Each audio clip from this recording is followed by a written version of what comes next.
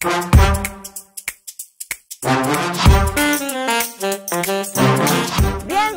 a Zamboanga. Welcome to Zamboanga Peninsula, your southern comfort food destination in the Philippines. Join me today as we feature two of the most iconic food in Zamboanga Peninsula, Benaya.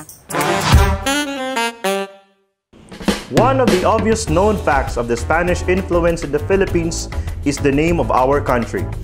The name of the Philippines comes from King Philip II of Spain.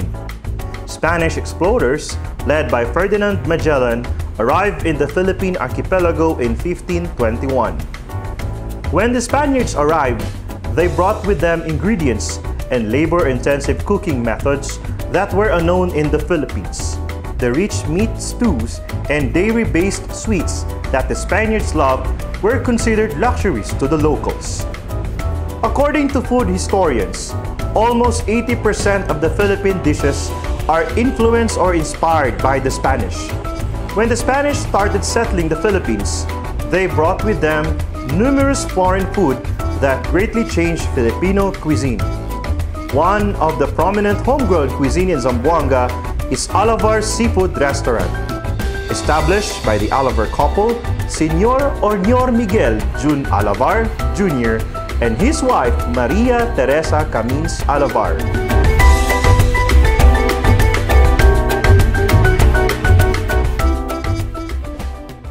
Buenas otra vez. I am at Alavar Seafood Restaurant and with me is Chef Jomari Alavar Alfaro, the grandson of Senor Miguel Alavar y Senora Maria Teresa Camins Alavar. Chef Jomar, tell me please, how did Alavar start its business? Uh, Alavar Seafood Restaurant uh, started with business with my uh, grandparents which is uh, Miguel Alavar and Teresa Camins Alavar. Uh, nagsimula kami sa Barangay Vitali which is also in Zamboanga City and then from there, uh, napunta kami sa city proper mismo. Uh, doon kami nag-expand from, uh, from the help of my uh, brothers and sisters ng mom ko. And then hanggang ngayon, uh, napunta na sa amin, sa mom and dad ko. Tapos yung tatlong magkakapatid ako, I'm the third generation actually. We're already handling the business and uh, we have already expanded in Zamboanga and Metro Manila. And then the rest is history. Alright, so basically uh, we prepared uh, the famous Curacha with also the famous Oliver sort of the Oliver Seafood Restaurant. Actually, uh, sauce is ready here. It's already cooked. And then we also prepared the ginger para matanggal yung lansa ng uh, Curacha natin. So basically, our Curacha, it came from the seas of Zamboanga City. You can, you can only find this in Zamboanga City. And uh, fun fact about Curacha, uh, yung ibang bad crabs kasi, when you cook it, itim siya. Pero for our Curacha, when you cook it, it's still orange. Pag niluto mo siya, orange talaga siya. So, uh, dito na po kami. Uh, we already prepared the Curacha, or the, what we call the deep sea crab. So, gagawin ni Chef Richard ngayon, uh, papatayin niya po yung Curacha para at least pagluto natin very fresh. Actually, dumating siya sa amin this morning, buhay pa siya. Pero ngayon, uh, nakikita niyo siya, sobrang taba ng Curacha. At saka fun fact about Curacha, pinakamaraming mal- mal- laman is yung gitna niya. Yung sipit niya, hindi masyadong malaman. Ito yung pinakamasarap. If you compare it to mud crabs, yung Curacha natin, mas, mas sugary siya if you compare it to other crabs. So we'll start already. So ika-cut chop na ni uh, Chef Richard yung ating uh, deep sea crab or our Curacha. So yan, nakakasiguro tayo pag sa Alabar Restaurant, ang ating kuratsa ay preskong-presko all the time.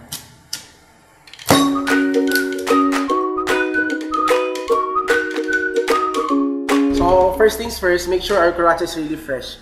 Kasi you can really see the meat, it, it's, it, yung fat niya, yung meat niya nasa sa loob, tapos orange pa siya. So, lagyan mo na siya yung water natin, fresh yung water. Very important, the water level should be on its balance phase with the kuracha. So gaano kadami ang for for example for this kuratsa, gaano kadaming tubig ang ilalagay natin? But it really depends. Now, itong kuracha, so ilalagay na ni siya. Okay. Okay siya. So kasi yung kuracha kasi, mismong sa loob ng shell ng kuracha May ay may tubig na na. siya. May tubig na siya. Oo. So control mo lang siya, yung the So water hindi level. naman kailangang nakalubog ang kuratsa sa tubig na inilalagay Ah, no, no, no, natin. no. Ah, okay. Kasi pag nag, nag, nag-simmer siya, lalabas yung tubig ng kuracha and the fat will, will come out. So let's wait for how many minutes. Pag nag-simmer na siya, we can already put our uh, our ginger para matanggal yung lansa.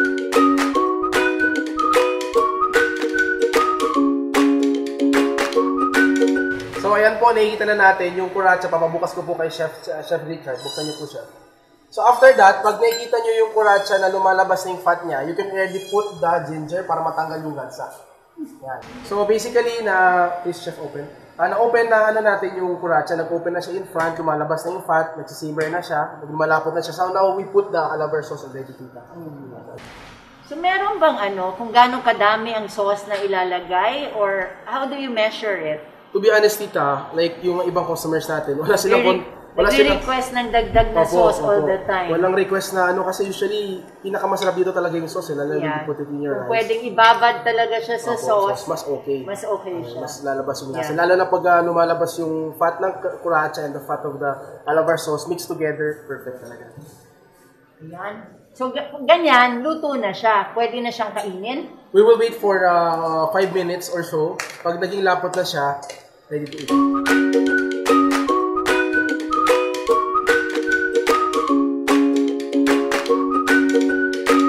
Parang napakatagal naman nung 5 minutes na yon. Pero wow! Finally, the first comfort food of the South we prepared today. Of the many comfort foods actually of Zamboanga Pen. Naku! Nakakatakam naman. Pwede ba yung pruba? Or sa Tagalog, pwede ko bang tikman? Si Tita, bien sabroso este. Uh, we already prepared the finished product of the curatcha with alabar sauce. So Tita, I will be putting the alabar sauce in the curatcha. This is actually the meat of the curatcha, as you can see. So, we'll be putting it here. Para medyo... So, Tita, try.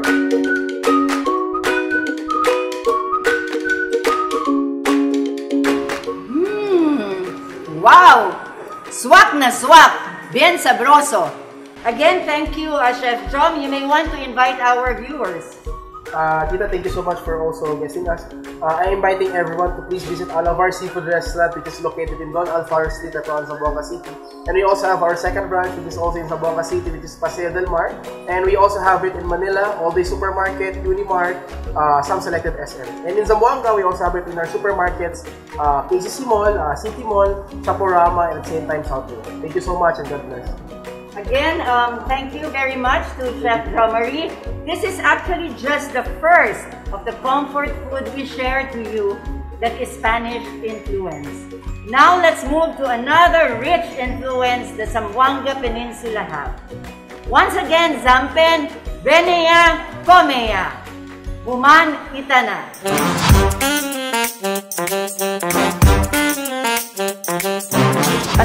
Assalamualaikum warahmatullahi ta'ala wa barakatuh.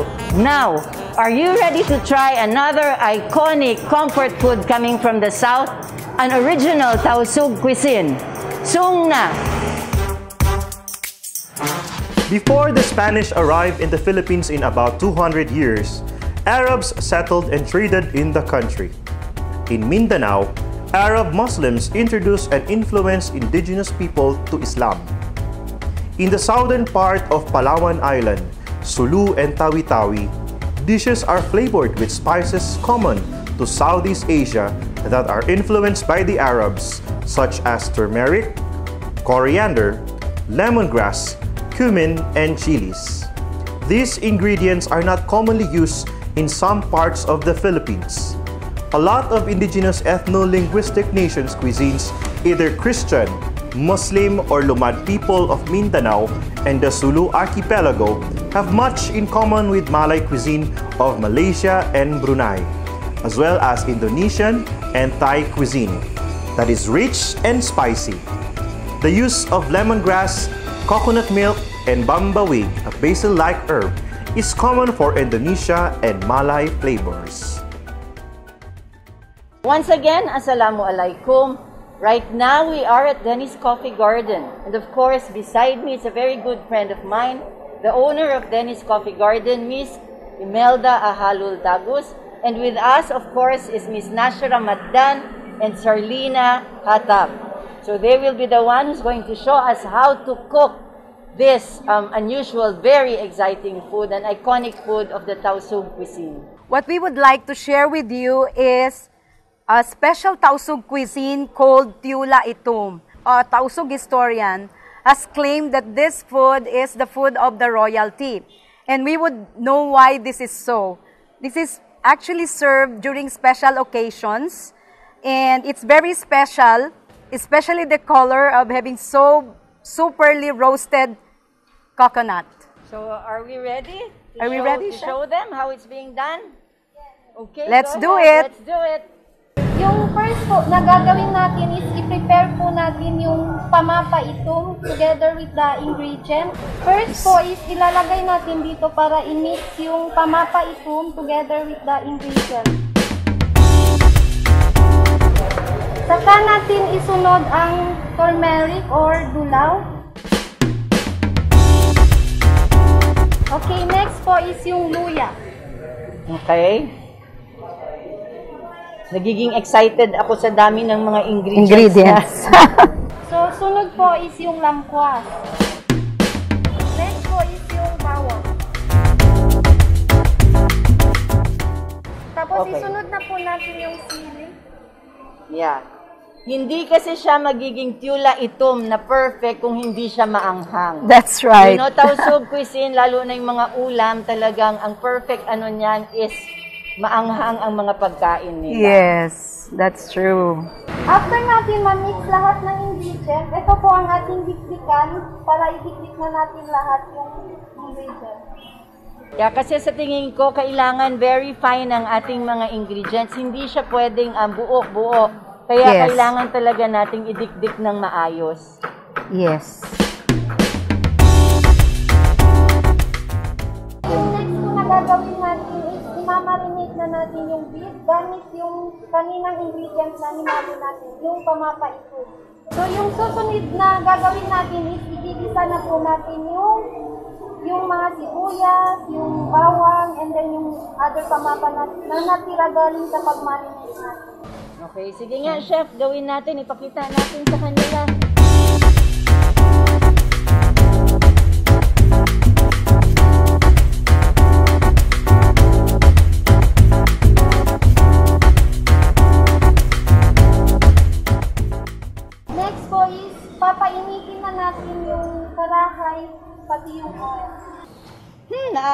Ko na actually. Sa usok pa lang, naaamoy na natin na parang napakasarap ng ating tula itong. I am sure kayo din dyan, sa mga bahay ninyo, sa mga nanonood, gusto niyo din tikman at gusto niyo din subukan kung ano itong hinahanda natin na ito.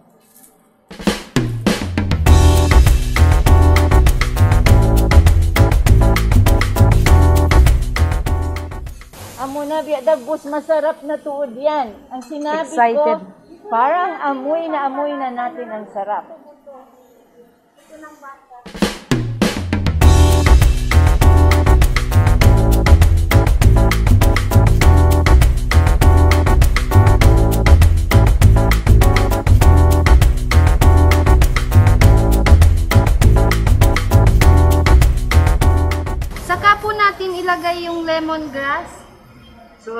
tanglad ang tawag natin dyan. Ano, tanglad ang Opo, tawag tanglad. natin sa lemongrass. Isunod na po natin ang tubig para sa sabaw.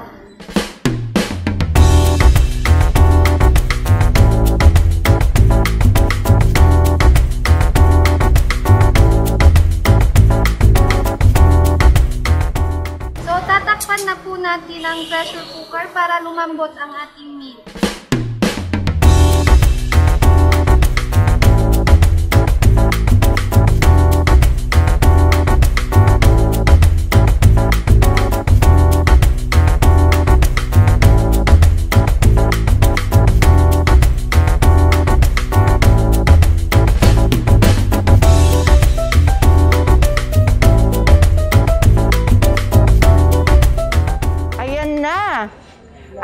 Ng paghintay ng isang oras, andito na siya. Pero alam mo, Melds, no, um, gusto ko lang idagdag kasi hindi lang naman yung tula ito ang ating specialty at ang presentation. Because there is something very special about the presentation also. And this is normally done pag merong mga event no sa mga ano sa mga Tausug uh, community. This is actually how they prepare the food. So ayan, nakikita ninyo, ano talagang ano, madami siyang kulay pero kompleto recados ang ating latal. Eto na! Excited na ako. Excited din ba kayo? Sige, ayan. Patanggal ng mask, hindi makakakain kung nakamask. Gusto niyong subukan? Iniinggit ko actually kayo.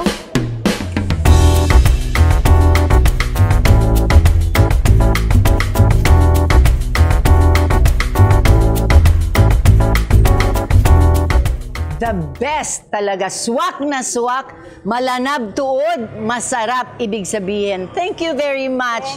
Talaga nga. Pwedeng isa pa? Sure. O ayan. Help yourself. This is for you. Wala akong masabi. To all our viewers, you should actually come and visit um, Dennis Coffee Garden. Ano. Now, we have, ano, we, we showed you two iconic food coming from the south, the comfort food coming from the south. But, this, hindi lang po dalawa ang ating iconic food. We can go on and on. The list will actually go on and on. Pero, since kulang tayo sa oras, dalawa na lang muna para ma-excite kayo sa susunod na naman nating video shoot. Okay? So, thank you again, Imelds. Thank you. Ate Yes, magsukol tuod kanyo katan. Well, I hope you come and visit Dennis Coffee Garden. So again, um, magsukol, salam dua kay mo, wassalamu alaikum wa rahmatullahi ta'ala wa barakatuh. Thank you. And that's it. We have witnessed the rich culture of two iconic comfort food in Zamboanga Peninsula with its flavor and rich cultural history. Zamboanga Peninsula is indeed an amazing destination you can visit if you are looking for something different and want to learn something new. Once again, I would like to invite you to visit Zamboanga Peninsula. Makulay na binta, makulay na lasa, masarap na pagkain. Once again, Zampen, Beneya, Komeya, Kumauna kita, Mangaon Tayhoman Itana. Thank you for inviting us to feature our very own and see you soon. Gracias a todos. Magsukol sa katan. Daghang salamat. Maraming salamat. Thank you everyone. Swak na swak!